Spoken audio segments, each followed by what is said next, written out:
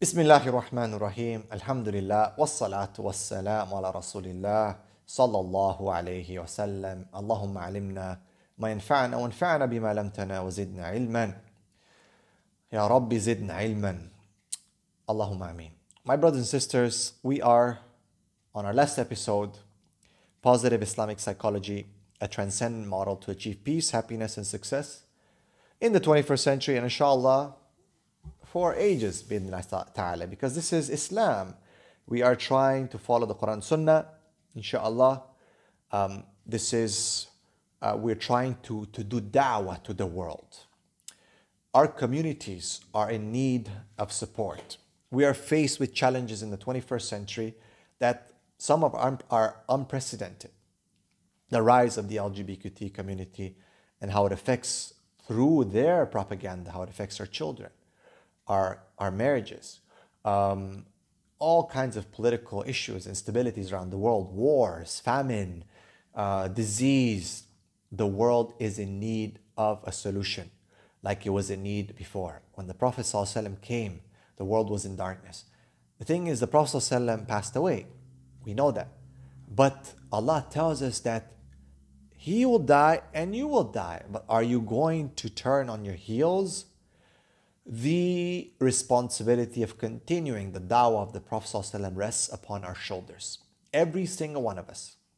When we looked at the four principles, we talked about knowing Allah and the universe, knowing ourselves, our nature, human nature, uh, knowing the job that we have, being the Khalifa on the earth, and then the learning theories.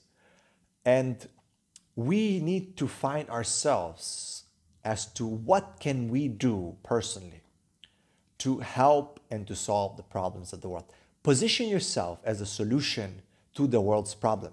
It doesn't have to be the whole world. Are you going to be able to you yourself change, uh, you know, to, to affect climate change? Maybe not, but maybe you can influence, and maybe as a group we make ta'awun, and maybe there will be uh, small changes that we do together, that we put together and become big changes.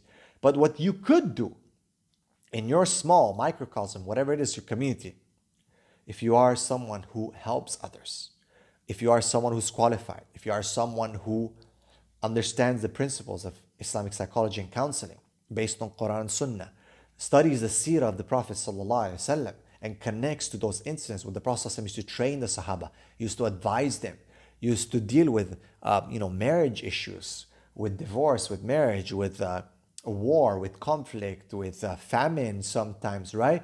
Uh, with orphans. The, everything is addressed in the Quran Sunnah. We need intellectuals, Muslims who fear Allah subhanahu wa ta'ala, who are not going to change the religion, the deen, who are not going to compromise the principles, to dig deep and connect into the seerah of the Prophet, the Quran and Sunnah, and connect to such models and to qualify and to bring about the change in our community, to, to counsel those who are suffering, who are traumatized, who have gone because of the lack of practice, be it their families, be it their spouses, be it whoever it is, the world at large, oppression on every level. They're suffering. People have suffered trauma. And trauma is not a joke. Mental health issue is not a joke. Weakness of Iman is not a joke. Depression, anxiety, if you've never uh, suffered it or understood it, is not a joke. And that's why we need to connect. We need to help. This is our dawah. This is our objective in life. Everyone has to do their job.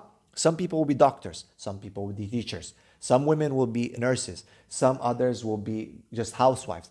Everyone needs to find out what can I do that pleases Allah subhanahu wa ta'ala, that's halal, and that I could help those around. Not everyone will develop the cognition, the ability to wake up and understand what we've said and say, hey, you know what? I understand how we're influenced. I can see how the environment is, is working on me. I can see how my total past learning history has affected me to develop a negative feeling and a failure in my life as opposed to a positive, right? And I can understand now how to use Islam, Quran, and Sunnah, apply it, not just theoretically, in application within the rules, within the boundaries to drive change into the world. The world is in need of Islam. The world is in need in you, of you. The Prophet ﷺ did his job. Now it's our turn to continue this banner and to change the world towards Islam, towards the truth Alhamdulillahi Rabbil Alameen. Wassalatu wassalamu wa Sayyidina Muhammad wa ala alihi wa sahbihi ajma'in. May Allah subhanahu wa ta'ala bless all of you. Please check out the links in the description again and the book and of course the notes, the ebook that can be downloaded from the website. All the links are in the descriptions. Insha'Allah We ask Allah subhanahu wa ta'ala to bless our Muslims all over the world and to forgive all of us. Forgive me and forgive all our brothers and sisters. To have mercy on Brother Muhammad and Mahdi Jenkins and to protect our brother Abdulaziz bin, bin Azimullah and all the other people and the Muslims all around the world. اللهم اغفر لي والمسلمين والمسلمات المؤمنين والمؤمنات الأحياء منهم والأموات. May Allah subhanahu wa ta'ala forgive all of us. والصلاة والسلام على سيدنا محمد وعلى آله وصحبه وسلم تسليما كثيرا. السلام عليكم ورحمة الله وبركاته.